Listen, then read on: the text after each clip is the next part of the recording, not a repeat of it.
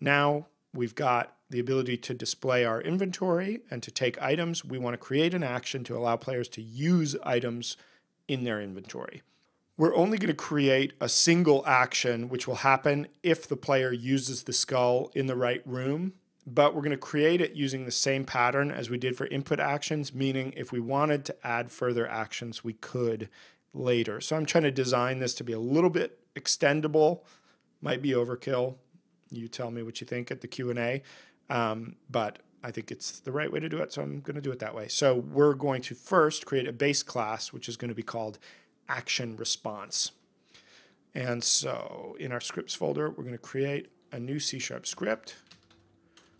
It's going to be called action response. And this is also going to be a abstract class, right? Just like our base class for input action is abstract and kind of serves as a template for other classes, action response is going to be the same, even though we're only ever going to make one action response it is going to also inherit from scriptable object and it is going to have a public string called required string. So this is going to be kind of like the key that we're going to check against to see if something is possible.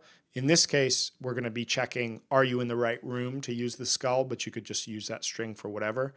Um, then we're going to have a public, another abstract function, which is going to be called do action response.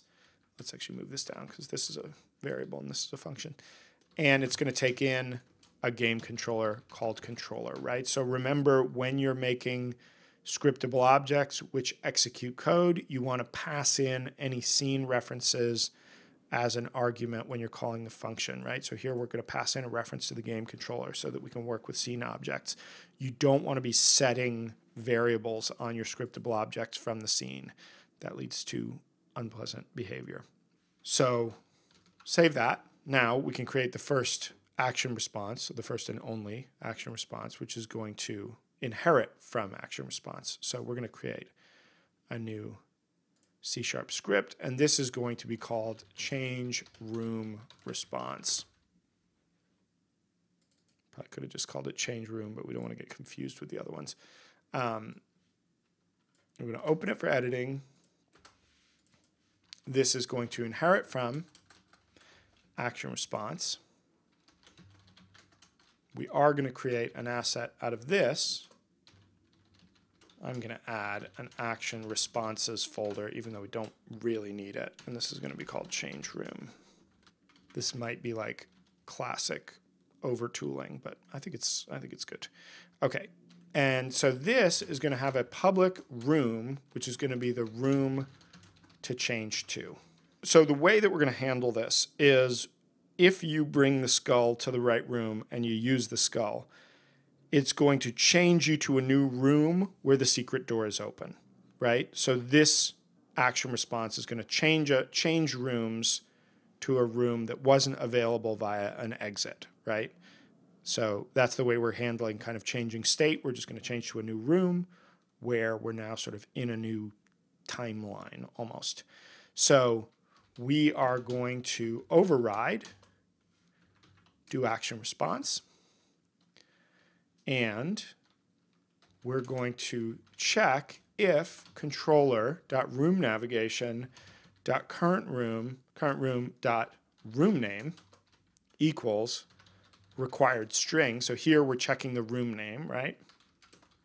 Then controller dot room navigation dot current room equals room to change to. So we're going to change rooms. So if we use the item in the right room, then we're going to change rooms to a new version of that room where the, the secret door is open. And then we're going to say controller dot display room text and return true. So we succeeded. Otherwise, we're going to return false. Okay. So we are going to add these to certain items which trigger functions. So we're going to add this to our interaction class. So back in the interaction script, we're going to add a public action response called action response. And for most interactions, this is going to be null. We're just going to leave it empty. But for our use verb on our skull, we are going to do this action response. Now, we need the next thing that we need to do is to create a use input action which can check if we have the thing in our inventory and then attempt to use it. So we're going to do that next.